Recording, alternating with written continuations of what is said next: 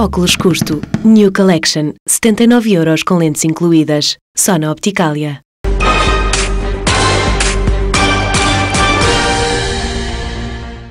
O concurso um, o raio fotográfico, que, uh, que decorreu, como se lembram, um, do Orçamento Participativo de 2014.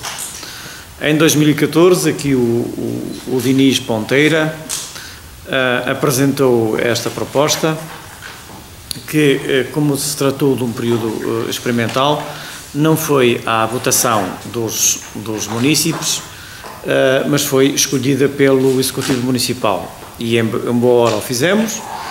como se lembram, no ano passado tivemos a primeira, tivemos a concretização dessa ação, com a publicação de um livro que é, um, que é um sucesso, a ideia da promoção deste raid uh, tem em vista essencialmente a promoção e a divulgação desta região, digamos que motivar jovens e não, não tão jovens a participar daquilo que é a recolha de imagens e na divulgação uh, e, em estrito senso, captar novos públicos e novos públicos que gostem de chaves e que simultaneamente gostem deste género estético que é a fotografia.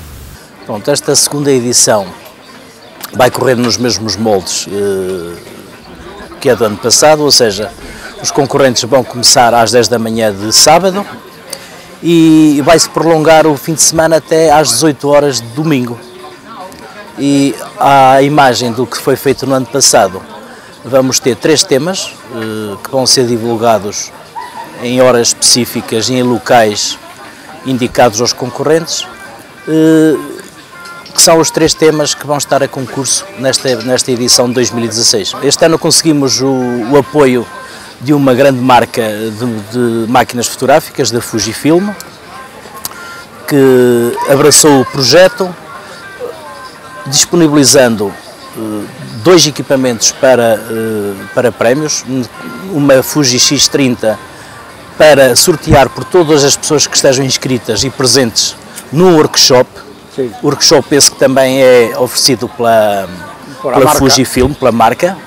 Eh, esse workshop vai ser eh, orientado por, por um fotógrafo de renome internacional, o Sr. Eh, John Gallo, que é um português que está radicado no Reino Unido, onde, onde ganhou este ano uma, uma importante bolsa para desenvolver um projeto fotográfico. Vai-nos fazer um workshop sobre fotografia de rua, street photography.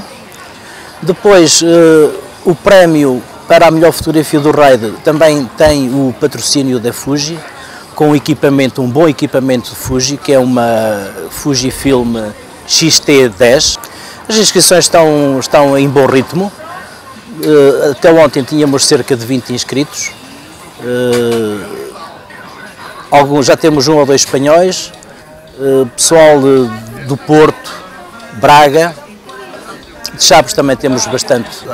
Este ano pusemos o limite a 200 concorrentes. O raid em si será, começará dia 9 de julho às 10 da manhã, no Museu da, da região flaviense, onde os concorrentes terão conhecimento do primeiro tema que irão fotografar durante o fim de semana.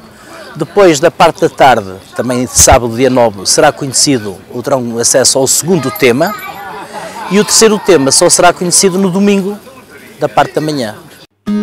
Notícias que duram alguns minutos. História de amor que dura algum tempo. Vestido preto que dura algumas lavagens. E se nos libertássemos de tudo, em que nada dura? Sloggy Avenue. Cor, conforto, suavidade dura quatro vezes mais. Sloggy Avenue. Para toda a vida. Garantia para sempre. Ah, disponível também para homem.